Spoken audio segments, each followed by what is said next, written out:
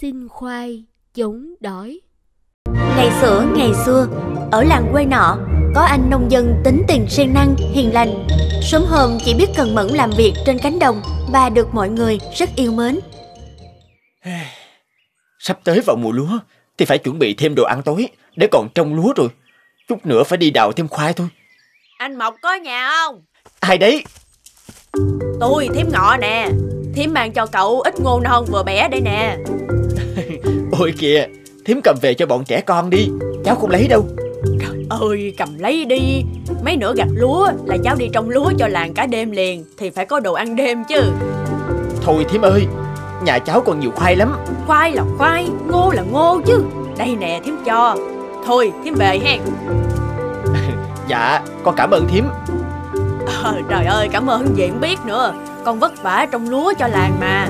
Ai chứ có con trồng lúa cẩn thận là thím yên tâm lắm. Dạ,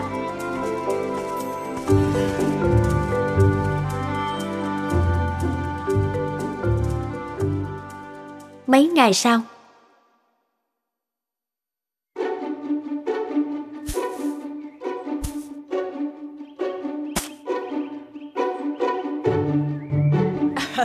Những ngày gặt thế này Làng mình bận nhưng mà cũng vui ha mọi người ừ, mệt nhưng mà vui. Ôi, Kìa cụ, cụ sao thế? Hình như cụ à, bị cắt phải tay rồi. Nhưng không sao đâu, có tí ấy mà. Ừ, để cháu băng lại cho cụ. Thôi cụ nghỉ ngơi đi, để đấy cháu làm cho. Không sao đâu, làm việc mới khiến cụ vui vẻ, chứ ngồi một chỗ chán lắm. Ừ, vậy cụ phải cẩn thận nha. Ừ.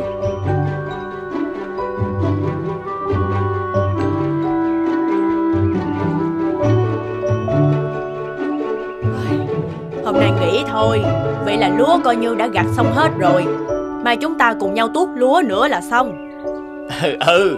Thôi về nghỉ ngơi thôi. Mọc ra đồng đó hả?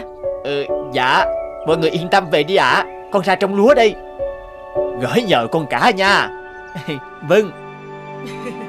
Gớm, Cái thằng bé rõ chăm chỉ, chịu khó lại cẩn thận. Con nó trong lúa thật yên lòng, yên dạ mà.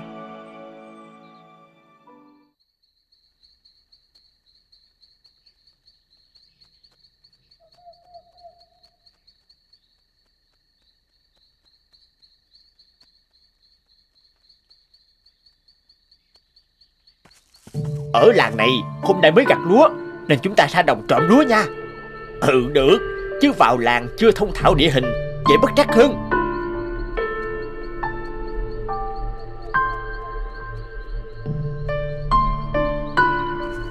Không có ai đâu, đều trong lúa cũng thắt lửa, chắc người trong đi ngủ rồi.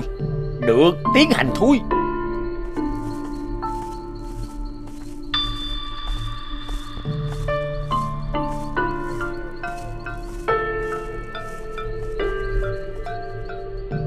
Chà, hôm nay gió mát quá, ngủ ngoài đồng thật thích. Hả? Chẳng phải có bóng người sao? Ai lại ra đồng giờ này thế? Ai thế kia?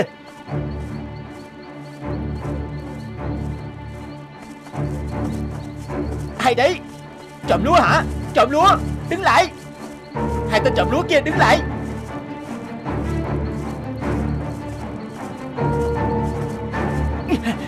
Chúng mày thôi gan thật. Đứng lại.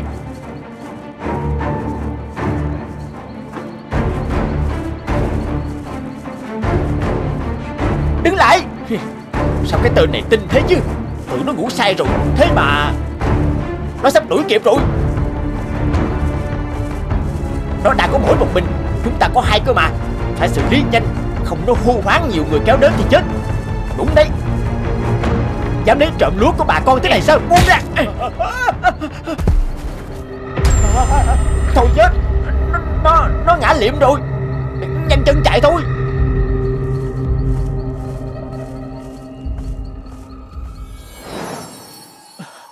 Ủa Đây là đâu? Sao nhiều mây thế này? Mình đang ở ngoài đồng bắt trộm mà. Cái gì kia? Là mình đang mơ sao? Chúng tôi là lính thiên đình. Dẫn anh đến tìm Ngọc Hoàng đây. À, Hả? Chuyện gì vậy? Sao lại thiên đình với Ngọc Hoàng gì chứ? Tôi còn việc dân làng nhờ cậy. Cho tôi đi về đi. Anh đã qua đời. Chúng tôi xác nhận anh đã bị chết oan Nên anh sẽ được gặp Ngọc Hoàng để phán xử. Trời ơi Tôi Tôi đã chết rồi sao?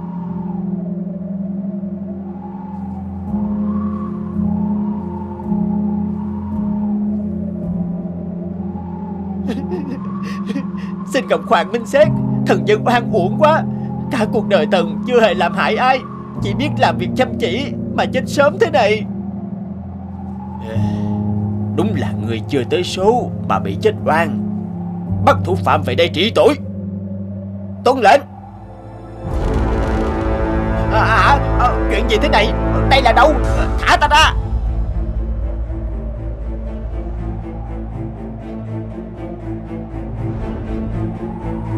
Hả?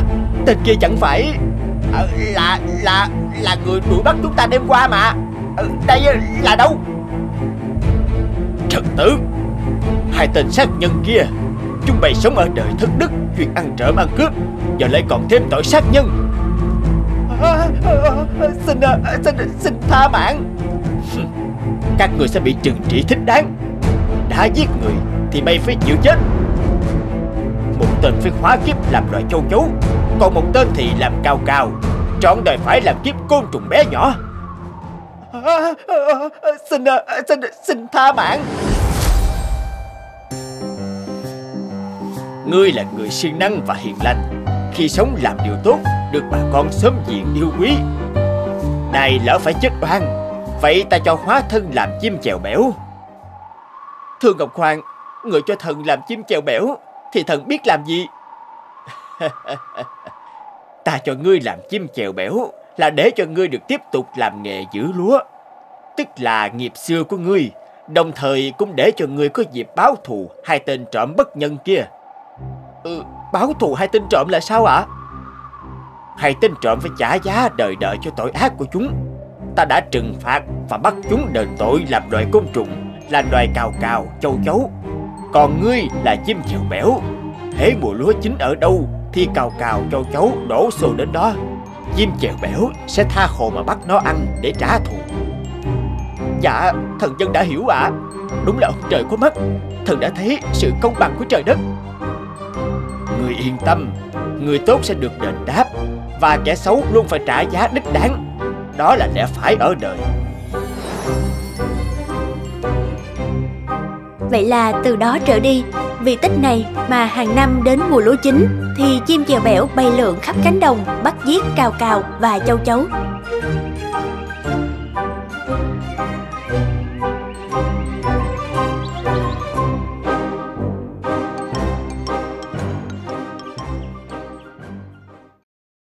Tường nhà có hoa.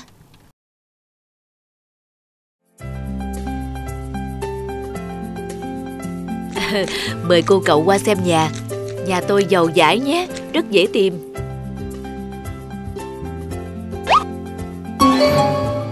Trời, sao lắm rác thế này? À, à, chắc là lâu không có người Nên mọi người mang tới đây để đó mà. Cô cậu mà về đây rồi á Thì ai dám mang lại nữa? Quan trọng là cái nhà Chứ chỗ rác đó kiểu gì chả có cách xử lý. Vào trong xem nhà cửa thế nào đó em?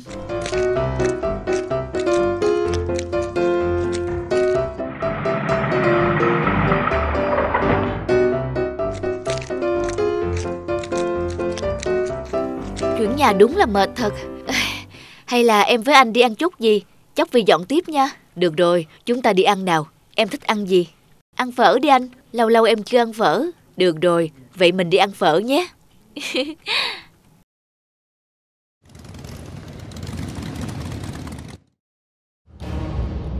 Gì thế này? Sao thế em? Ai lại đi đổ rác ở đây thế này? Rõ ràng lúc nãy em đã dọn dẹp chỗ này sạch sẽ lắm cơ mà Sao ai lại mang rác đến đây để thế này? Lợi dụng lúc người ta vắng nhà chút Đã như thế này rồi Sao ai lại vô ý thức thế? Giỏi thì mang rác ra giữa đường mà vứt nhé Đừng có mà mang rác nhà mình đổ ở nhà người ta Đồ vô ý thức Thôi em, bực làm gì cho mệt người ra Chắc họ chưa biết mình đến ở đó mà em ở nhà dọn nốt nhà nhé. Xem còn cần phải sửa sang lại cái gì thì nhắn tin cho anh. Chiều anh đi làm về anh mua cho luôn. Hôm nay em phải rình xem nhà nào hay vứt rác vào nhà mình Phải bắt tận tay mới được Gặp phải vợ anh thì gặp đúng sư tử Hà Đông rồi.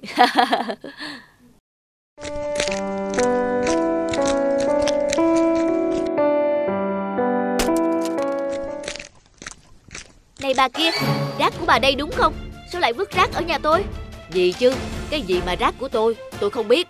Rõ ràng tôi vừa thấy bà đi qua đây Không bà thì ai vứt rác ở đây chứ Cô này hay nhỉ, có bắt được tận tay không mà ăn nói như vậy. Chả lẽ ai đi qua nhà cô Thì cô cũng cho rằng người ta vứt rác vào nhà cô chắc?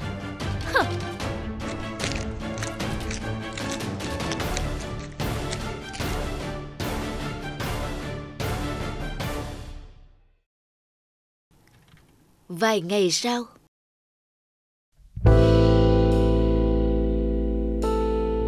Ôi trời ơi! Lẽ lắp cái camera ghi hình xem ai ném rác Rồi mang ra công an phường họ xử lý Chứ cứ như vậy Có mà chả mấy chốc Nhà mình thành cái bãi rác mất trời, chả lẽ vì cái vấn đề bé tẹo đó bà phải đầu tư cả cái camera hả em? Rồi thì suốt ngày ngồi canh me, có phải vừa tốn tiền vừa mất thời gian không? Nhưng mà em bực quá rồi Chốc chốc lại cái mùi hôi thối đó bốc lên Có lẽ chúng ta phải chuyển nhà thôi Thuê chỗ khác vậy Em dám chắc những người thuê trước đây toàn phải chuyển đi vì chuyện này Kìa em, nếu mình chuyển đi nữa thì khác gì những người khác. Chúng ta phải làm được điều gì đó khác hơn chứ. Để anh nghĩ xem nào. Theo em thì người ta thường hay vứt rác ở đâu? Ở nơi tiện nhất Và trông có vẻ bẩn sẵn Đúng vậy, cái hông nhà mình anh thấy cũng có vẻ hơi bẩn. Có thể mọi người thấy nó bẩn nên mới để rác ở chỗ đó. À, chúng ta tìm ra cách rồi. Nào đi với anh, anh sẽ giải quyết nỗi bực này cho em. Chẳng phải là em thích trồng cây xanh sao? Anh có cách này, vừa khiến hàng xóm không để rác chỗ đó nữa, vừa phục vụ sở thích của em luôn.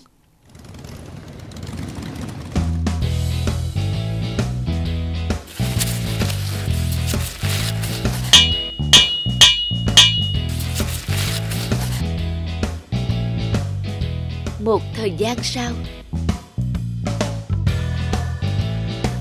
Ơ đẹp quá bà ơi. Ừ, từ ngày cô chú ấy về đây, tổ dân phố của mình trở nên sạch sẽ hẳn lên. Cháu chào bác ạ Chắc nay bác qua thu tiền nhà Bác đợi cháu lâu chưa Ừ, ừ, bác vừa tới, đang đứng đây ngắm cảnh vàng hoa này. Đẹp quá cháu ơi, ai đi qua cũng khen nhé. Bác mừng quá, trước giờ người nào đến đây thuê cũng vài bữa là đi vì rác. Có khi bác phải đề xuất phường nên nhân rộng mô hình này mới được. Vậy thì còn gì bằng bác nhỉ? Thế thì bác đề xuất thêm mấy cái thùng đựng rác cho khu nữa bác nhé. Để người dân còn có chỗ để rác gọn gàng. Tránh để rác ôm cây cục điện thế kia. Ờ, ờ, được, được, ý kiến quá hay, phải triển khai luôn chứ. Vâng, thế mời bác vào nhà cháu chơi.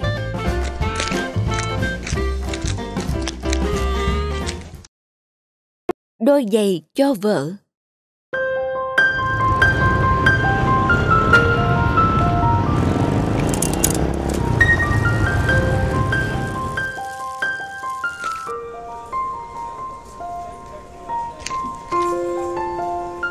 Em thích đôi giày đó lắm.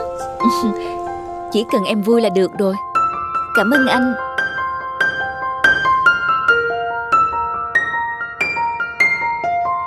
Ông ơi, chờ tôi tí. Ông đi đôi giày của tôi vào. Chân ông đi vừa cỡ giày của tôi đó. Tôi ở nhà không cần phải đi giày.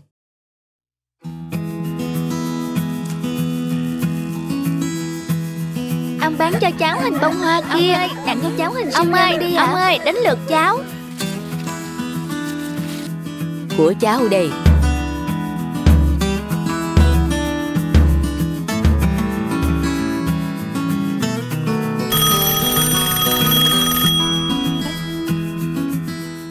Alo, bà đó hả? Ừ, tôi sắp về rồi đây.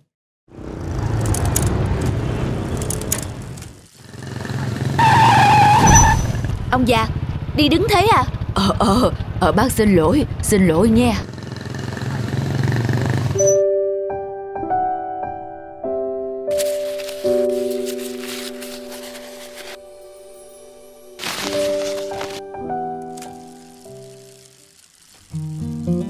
Chồng đi làm có mệt không?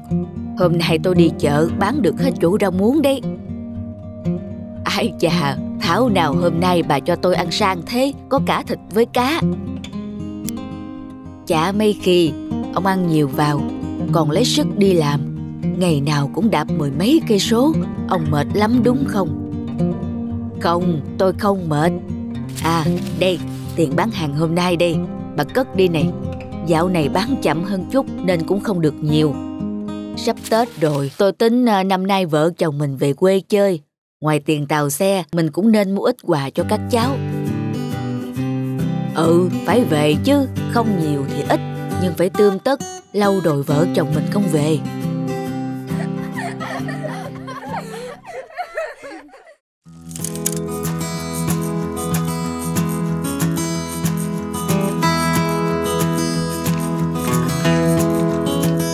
Chào bác, bác mua giày cho mình hay cho ai? À, à, tôi mua giày cho bà nhà của tôi. Sao bác không đưa bác gái đến đây đi thử? À, thực ra bà nhà của tôi mà biết tôi đi mua giày cho bà ấy, thì chắc bà ấy sẽ không chịu đi đâu. Bà ấy tiếc tiền lắm. Mà sắp Tết rồi, tôi muốn mua cho bà ấy một đôi giày đẹp đẹp chút, để bà ấy về quê. Dạ, cháu hiểu ạ. À. Bác gái đi size bao nhiêu? Để cháu chọn cho ạ. À. Bà ấy đi size 38, cháu chọn giúp bác đôi nào tầm 2-300 thôi.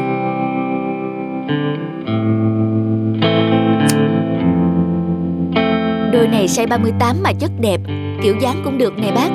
Giá cũng vừa phải nữa, chỉ 230 ngàn thôi. Ờ, tốt rồi. Cô ơi, cô bọc giúp tôi nhé.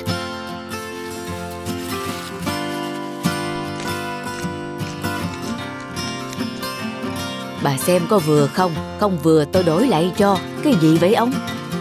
Ồ, một đôi giày. Đẹp quá ông à. Vừa như in chứ. Ngày nào ông cũng đưa tiền cho tôi. Lấy đâu mà ông mua đôi giày này? Ừ tiền mua cho bà, Kiểu gì tôi chẳng có. Miễn là bà thích là được rồi. Cảm ơn ông. Tôi thích lắm.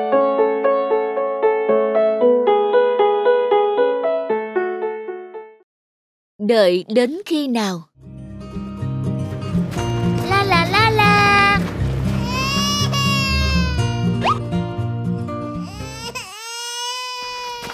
Nhà mình ở phía này mà ông. Ông biết, chúng ta lại đằng kia một chút đã nha mắt. Này cô, cầm lấy cho cháu bé. Cảm ơn ông, cảm ơn ông. Ừ, không có gì. Đó là phần thức ăn trong cả tuần của gia đình ta mà ông lại đem cho cô ấy. Với chút thức ăn còn lại, nếu biết tiết kiệm, chúng ta cũng có thể sử dụng trong một tuần đấy. Còn với cô ấy, chút thức ăn đó có thể giúp họ đỡ khó khăn rất nhiều.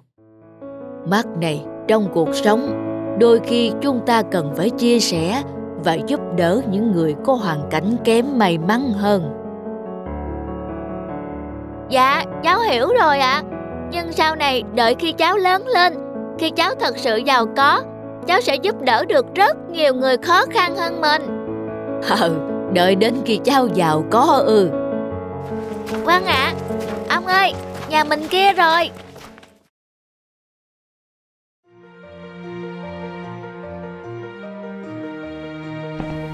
Đây, mắt chủ nhật này cậu có đi không? Đi đâu cơ? Buổi quyên góp cho những người vô gia cư, một hoạt động xã hội của công ty mình hàng năm, cậu có thể ủng hộ bằng tiền hoặc các vật dụng. Ôi giàu, mình làm gì có điều kiện chứ, đến chi tiêu trong gia đình còn không đủ, thì làm sao mà giúp đỡ được người khác, mỗi người một chút thôi mà. Thôi, mình góp cũng chẳng đáng là bao cả, đợi sau này mình khá giả hơn, lúc ấy nghĩ đến người khác cũng chưa muộn, như vậy chẳng phải tốt hơn sao?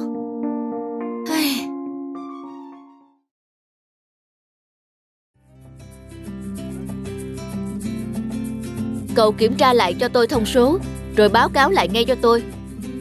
Tôi mới được đề bạt lên vị trí này, không thể mắc sai lầm nào được. Dạ, thưa giám đốc. Anh ơi, em hỏi anh một chuyện được chứ? Em nói đi, mà em định đi đâu, lại mang vác lĩnh kỉnh thế kia, Jenny. Em mua một chút đồ cho lũ trẻ trong cô nhi viện. Dạo này đang vào mùa đông, ở đó thiếu thốn lắm. Nhân tiện em muốn hỏi anh có thể trích ra một ít tiền để gây quỹ thường niên ở cô nhi viện không? Trời ơi, dự án lớn của anh đã gặp trục trặc, anh cần tiền gấp để lo trang thiết bị. Hơn nữa, lại còn sắp vào kỳ trả lương của công ty, nhà mình có dư giả đến mức để em đi làm từ thiện đâu. Nhưng chỉ là một số tiền nhỏ thôi mà anh, chúng ta như vậy đã là hơn rất nhiều người rồi. Anh cũng hiểu đó là một việc tốt. Nhưng ngoài xã hội còn có rất nhiều người giàu có hơn chúng ta, công sức, tiền bạc của chúng ta chẳng đáng gì cả, như muối bỏ biển thôi. Không phải là anh không muốn làm, mà chỉ cần đợi anh dư giả hơn, anh sẽ đóng góp được nhiều hơn. Nhưng mà... Anh hứa với em, đợi đến khi anh dư giả hơn, anh nhất định sẽ cùng em đi làm từ thiện. Như vậy mới xứng đáng là làm từ thiện với em.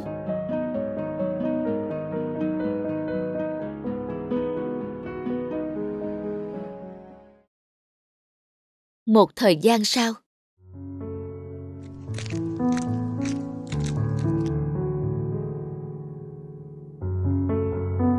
Cậu... Thật không ngờ cậu làm ăn thế này. Làm thất thoát của công ty hàng trăm triệu. Cậu mau mau nghĩ cách đền bù lại. Hoặc nếu không, cái ghế cậu đang ngồi bây giờ Sẽ không còn thuộc về cậu nữa. Mùa đông năm nay sao lạnh thế?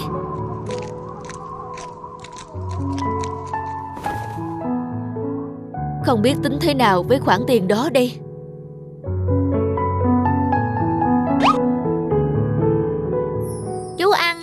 Chú đói lắm phải không ạ? à, Chú không phải Chú không phải ngại đâu ạ à. Hồi sáng cháu đã ăn kẹo nhiều rồi Nên cũng không có đói đâu à, Cảm ơn ông Cảm ơn cháu nhé Cháu thật là một người tốt Hôm trước cháu đã quyên góp hũ mức cho các bạn ở cô nhi viện Cháu còn giúp mẹ làm ở xưởng gỗ để lấy tiền cho Jin. Bạn ấy nghèo nhất ở lớp cháu đấy ạ. À. Đi nào Alex, không làm phiền chú nữa.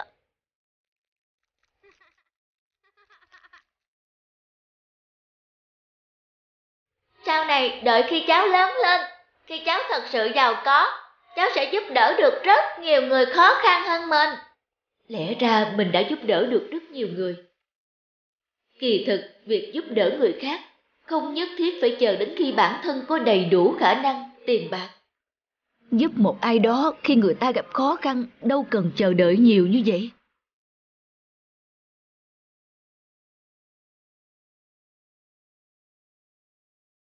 Ngọc Lục Bảo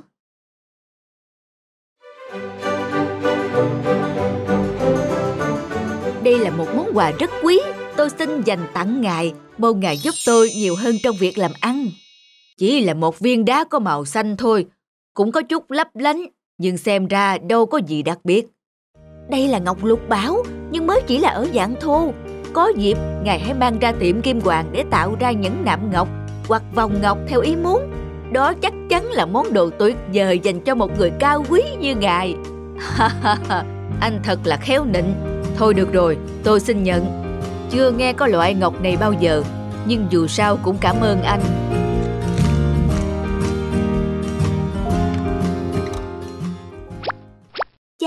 Chào, các bạn.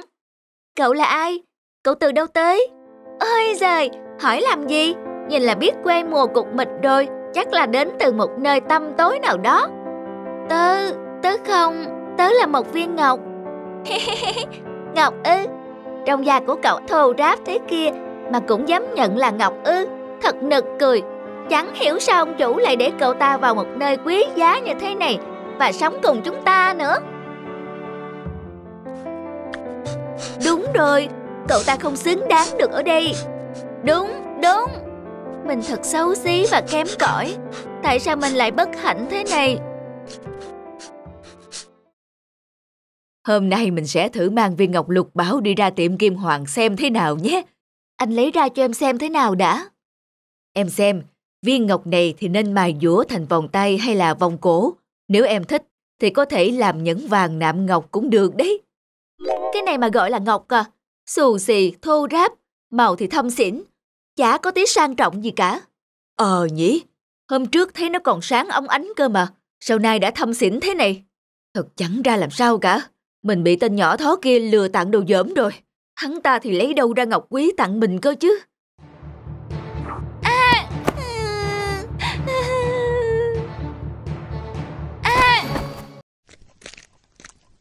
Mày có gì đấy? Ơi, một viên đá xanh.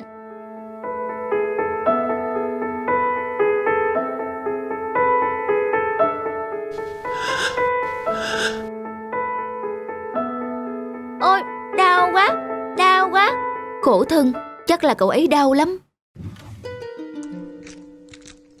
Con trai, con lại bị đau sao? Để mẹ xoa bóp cho con nha.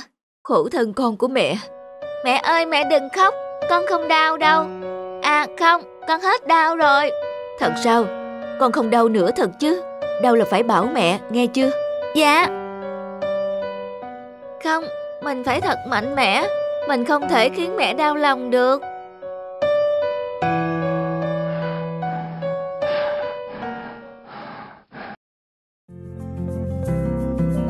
Trời lại sáng rồi, một ngày mới tươi đẹp.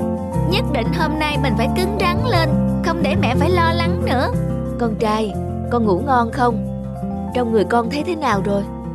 Dạ, con ngủ rất ngon, mẹ yên tâm. Con luôn khỏe mạnh mà. Con trai của mẹ mạnh mẽ lắm. Nhìn con, mẹ thấy cuộc đời này tươi đẹp biết bao. Mẹ, quả là một cậu bé kiên cường. Sự mạnh mẽ và sự lạc quan của cậu ấy khiến mình cảm thấy cuộc đời này đáng quý biết bao. Mình cũng phải mạnh mẽ và tự tin lên mới được. Ôi, viên đá đang dần trở nên lấp lánh. Ôi, liệu đây có phải là ngọc quý không? Mẹ sẽ mang ra tiệm kim hoàng hỏi xem sao. Biết đâu có thể có được một món tiền để điều trị cho con. Là ngọc lục bảo quý giá. Chị gặp mày đây. Tôi sẽ trả cho chị số tiền thật hậu hĩnh.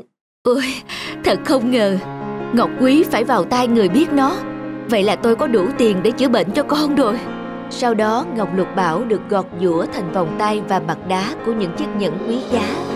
Vượt qua sự tự ti, Ngọc Lục Bảo trở thành vật quý luôn tỏa sáng, tự tin bậc nhất, khiến mọi người xung quanh phải nể phục. Hãy like, comment, subscribe kênh để xem thêm những video mới nhất nhé!